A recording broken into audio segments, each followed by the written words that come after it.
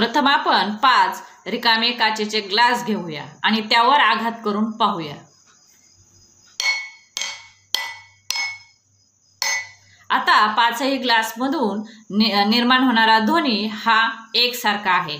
आता आपण त्यामध्ये पाणी घेऊया. प्रथम पहिल्या ग्लासमध्ये थोडे पाणी घेऊया.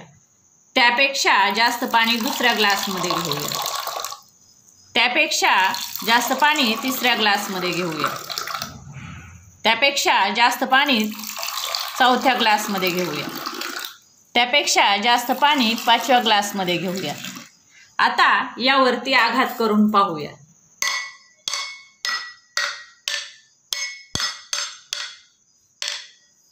काय होते पहा? यामध्ये आपल्याला तरंग निर्माण झालेले दिसतात आणि हवेच्या स्तंभाच्या उंचीनुसार या तरंगाची वारंवारता बदलते. प्रत्येक ग्लासात पाण्याची पातळी वेगवेगळी असल्याने त्यामधील हवेच्या स्तंभाची उंची वेगवेगळी असते. यामुळे तो ग्लास कंप पावल्यावर निर्माण होणारा ध्वनी वेगवेगळा असतो.